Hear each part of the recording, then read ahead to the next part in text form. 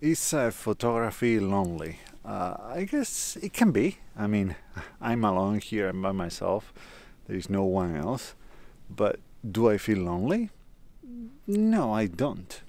You know my approach to photography. You know that I usually go solo on my photography trips. May it be uh, two hours, the whole day, or much longer. Just this last fall, I spent one month alone on the road driving across the country. But I know that those times are just momentary and I'm gonna go back eventually to my loved ones. I guess that's uh, why I don't feel lonely, and I actually consider my uh, time out in nature or out anywhere taking photos as a alone time. It's a time for myself. Photography as meditation, photography as therapy for mental health. I know many photographers who thrive in a completely different environment.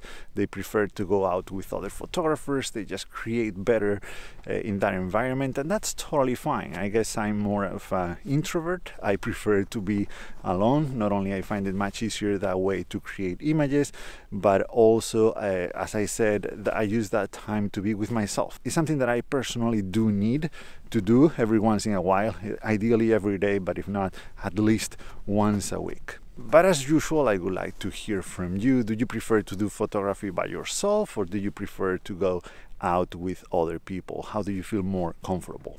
Now I'm gonna keep enjoying this silence.